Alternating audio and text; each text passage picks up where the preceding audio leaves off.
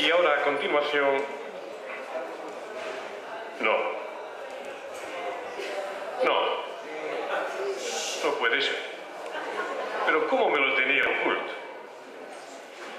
Al piano, María Dolores Núñez, mi querida esposa. Pues me lo tenía oculto.